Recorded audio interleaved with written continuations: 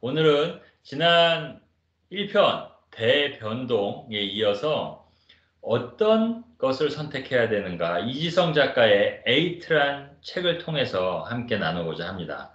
저 또한 이 두 책을 읽으면서 지난 30년간 제가 IT 업계에서 종사한 제 경험을 토대로 제 가슴에서 그 꼭 전해드리지 않으면 안 되는 그런 막 가슴 터져 죽을 것 같은 그런 내용의 내용이 있어서 오늘 2편을 준비하게 됐습니다.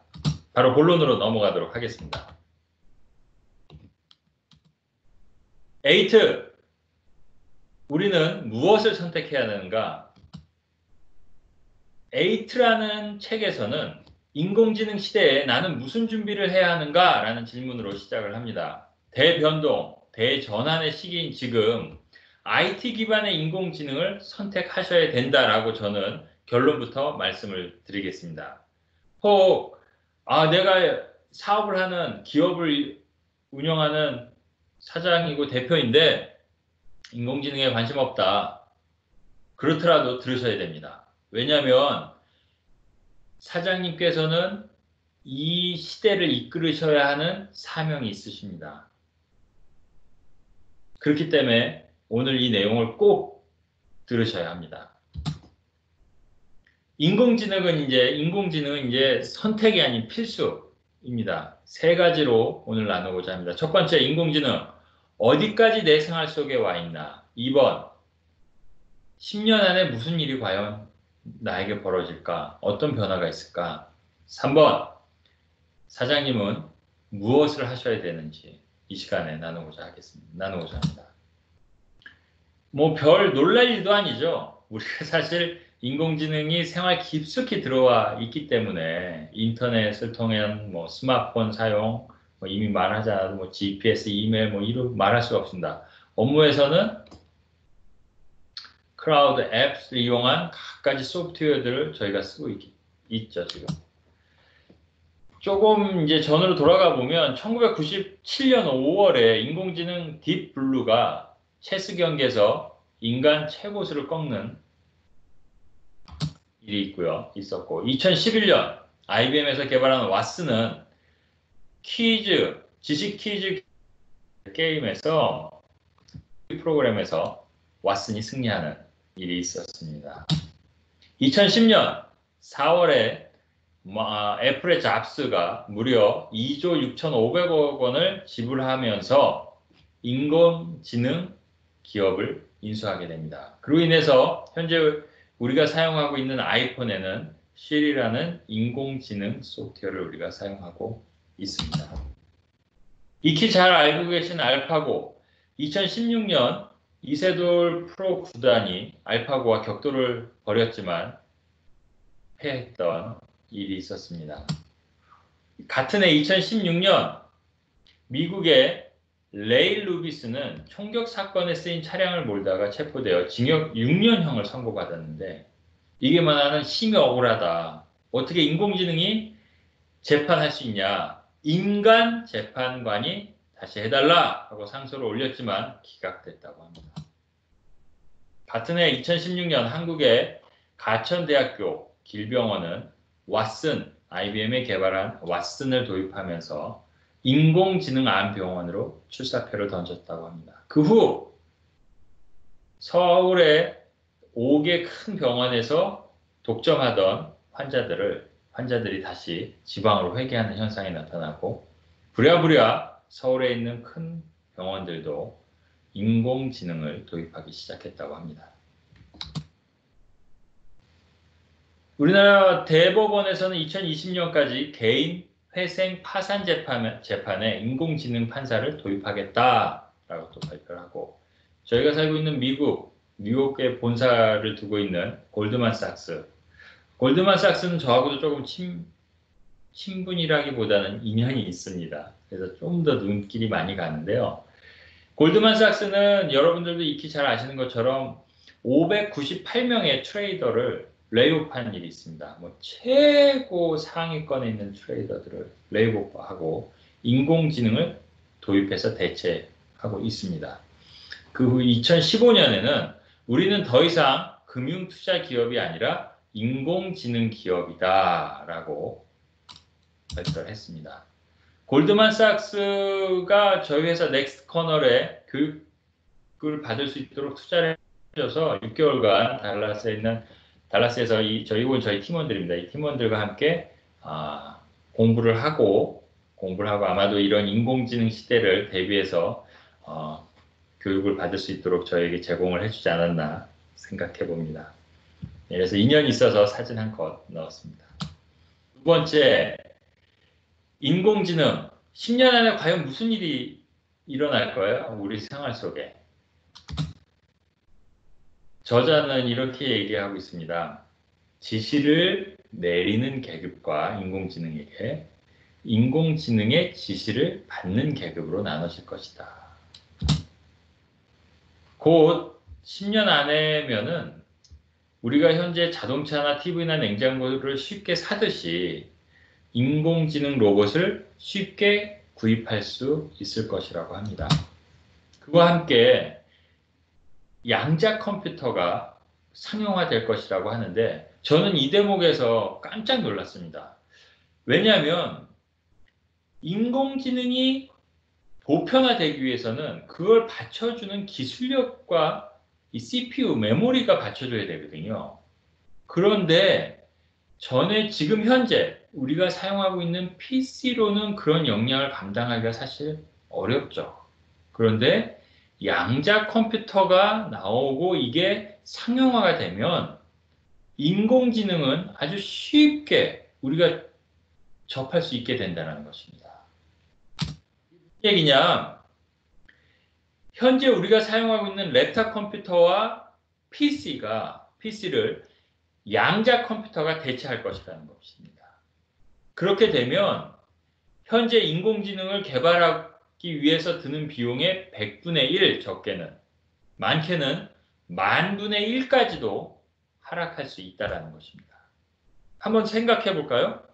저희가 처음 PC를 접했을 때의 우리 사회의 변화, PC 기반에서 인터넷을 접했을 때의 사회의 변화, 얼마나 큰 변화를 우리가 겪었습니까? 그리고 그 사이에 큰 부와 권력을 취하는 그룹도 생기게 됐고요. 근데 지금 그런 시기가 또 왔다는 거죠. 뭐냐?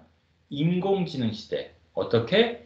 양자 컴퓨터가 상용화되면서 인공지능이 쉽게 누구나 할 수 있는 환경으로 바뀐다. 그렇다면 우리는 지금 뭘 준비해야 될까요? 무엇을 해야 될까요? 바로 여러분들 사업장에 있는 컨텐츠를 준비해야 됩니다. 우리가 익히 알고 있는 대기업들이죠. IBM, MS, 애플, 아마존 이 회사들이 뭘로 장사해요? 다 컨텐츠로 장사하고 있습니다. 구글 더 말할 것도 없죠. 1차, 2차, 3차 산업혁명을 본다면 1차 변화의 시기가 100년, 몇백 년 걸렸다면 2차 80년 정도, 3차 30년 정도 정보혁명 시대, PC와 컴퓨터를 보급되던 시대 30년이면 족하지 않았습니까? 지금 4차 산업혁명 시대에 인공지능 시대는 10년이면 족하다는 것입니다. 이런 변화 속에 10년 안에 양자 컴퓨터와 인공지능이 우리 사회, 우리 생활 속에 깊숙이 들어올 것이고 이런 변화 속에 사장님은 무엇을 하셔야 되겠습니까? 바로 사장님이 운영하시는 사업터에 직업 교육 혁명을 일으키셔야 됩니다. 이야 사장님께도 기회가 있다는 것입니다. 바로 아, 내 사업터는 완전 평범한데 누구나 다 와서 하는 그게 아니라 그 평범함 속에 비범함을 발견해내셔야 합니다. 그게 바로 사장님이 오늘 하셔야 할 일이라고 저는 강력하게 말씀드리고 싶습니다. 저자는 바칼로레아 international school을 예로 들면서 책을 읽고 토론하고 글을 쓰는 교육 체계로 바뀌어야 된다. 전 분야에 있어서 자유 몰입 성취하는 칼 비테 교육법을 받아들여서 칼 비테 교육법을 우리가 해야 된다. 이런 교육혁명을 일으켜야 된다라고 이야기를 하고 있고요. 그 예로 몬테소리 school도 예로 들고 있습니다. 좀 더 구체적인 예로는 하버드의 의과대학, 그 외에 다른 유수의 의과대학에서 강의실에서 하는 교육을 더 이상 하지 않는다고 합니다. 그와 함께 학생들에게 수업 전에 동영상과 동영상과 과제물을 통해서 학생들이 스스로 학습할 수 있도록 하고 그 학생들이 소그룹으로 나눠서 토론하는 방식으로 교육 방식이 바뀌었다고 합니다. 이제 강의하는 시대 끝난 거죠. 서로 나누고 토론하는 시대로 바뀌었다는 것입니다. 그와 함께 저자는 레오나르도 다빈치의 생각 공부법과 아인슈타인의 생각 공부법을 공부할 것을 그런 교육 방법을 받아들일 것을 강력히 이야기하고 있습니다. 읽고 사색하고 상상하고 노트에 쓰고 적용하고 토론하고 해야 된다는 것이죠. 우리 사업터에서 사장님 사업터에서 그럼 어떻게 나고 우리 사업터를 한번 생각해 보자고요. 이거 지금 삼, 삼성 반도체 사진 한 컷입니다. 우리 사업터에서도 서로 서로가 가르치는 형태의 직업 교육 방법이 나와야 된다는 겁니다. 그런데 우리가 하는 사업이 너무 다양하고 각각의 방법이 있지 않습니까? 그러니까 그 안에서 평범한 그 안에서 비범한 것을 찾아내야 된다는 것입니다. 그렇지 않으면 그걸 하기 위해서는 이제 사장님이 주시는 어떤 매뉴얼, 주시는 어, 업무 이거를 갖고는 안 된다는 거죠. 이걸 갖고는 이제 도태되고 우리가 성장할 수 없게 된다는 것입니다. 서로 직원들 간에, 종업원들 간에 서로 서로가 가르치는 형태의 교육, 직업 교육 혁명을 일으켜야 된다는 것입니다. 저자는 뭐 마지막으로 이런 혁명, 교육 혁명을 통해서 인류 전체를 향한 시대에 초월한 위대한 일들을 해내야 되지 않겠습니까? 뭐 이렇게 이야기를 하고 마칩니다. 뭐 이때까지 한 얘기가 말이야 쉽지 어떻게 사장님께서 말씀하실 수 있고 저도 사실 어떻게 라는 퀘스천이 듭니다. 하지만 할 수 있습니다. 그리고 사장님께서는 must 꼭 기필코 인공지능에게 일을 시키는 주인이 되셔야 합니다. 어떻게 하냐? 직업 교육 혁신을 일으켜야 한다는 것이죠. 뭐 우리 계속 지금 제가 주장차 이 시간 얘기하고 있는데 직업 교육 혁신 이게 뭐냐? 우리 종업원이, 우리 직원이, 나와 함께 일하는 팀원이 일을 하면서 나는 누구인가? 나는 왜 사는가? 나는 무엇을 위해 살아야 하는가라는 퀘스천이 나와야 한다는 것입니다. 그걸 토론할 수 있는 환경을 사장님은 만들어 주셔야 한다는 거고요. 그와 함께 일을 내가 왜 하는가? 내가 속한 조직은 무엇을 위해 존재하는가?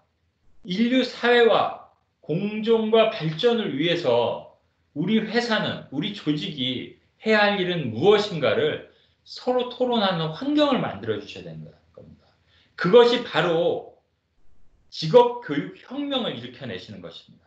와서 일하고 월급 받고 끝나는 것이 아니라 이런 question을 스스로 갖도록 환경을 만들어 주는 것. 이것이 첫 번째 step이라는 것이죠. 그러고 나면 깊은 생각하는 능력이 생기게 되고 자신의 생각을 논리를 정밀하게 다듬는 능력이 생기고 생각을 알기 쉽게 다른 사람에게 표현하고 공감하는 능력이 생기게 된다는 것입니다. 그 과정을 통해서 기계적으로 하는 일들이 아니라 손님들에게 더 좋은 선한, 선한 영향력을 끼치고 손님들에게 더 나은 서비스를 제공할 수 있는 팀원, 직원으로 성장하게 된다는 것이죠. 그와 함께 반복되는 기계적인 일은 IT 기반의 인공지능이 할 수 있도록 환경을 개선해 주시면 됩니다.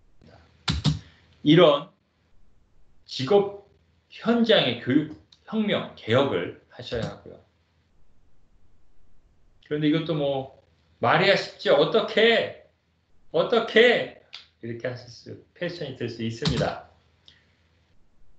사장님 사업터에 IT 기반의 인공지능 사업터로 개혁을 하셔야 합니다. 지금 당장 시작하셔야 됩니다. 그래서 잘 면밀히 한번 보세요. 곳곳에 어 이런 건 좀 자동화하고 이런 거는 IT 기반으로 돌릴 수 있는 일들은 빨리빨리 대체를 해주시고 교체를 하셔야 됩니다.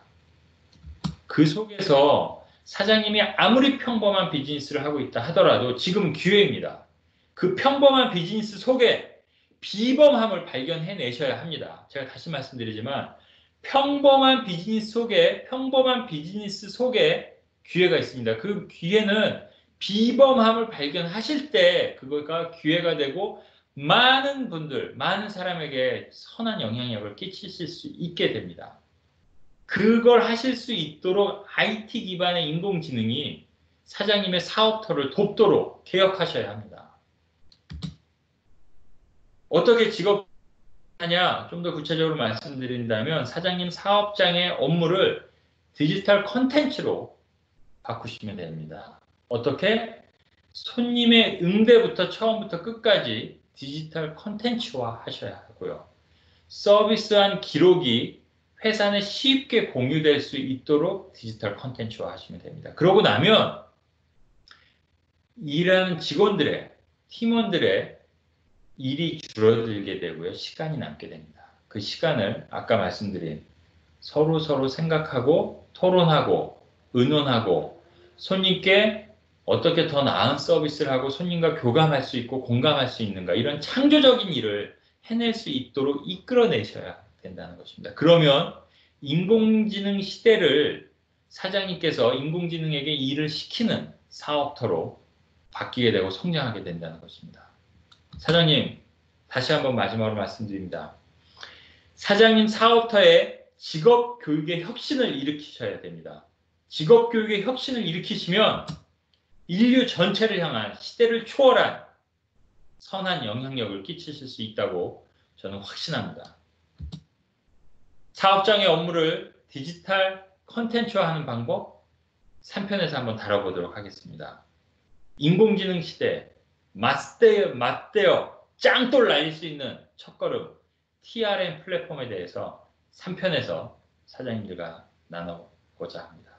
이상입니다. 감사합니다. 데니엘의 아, 넥스트 커널의 데니엘이었습니다. 감사합니다.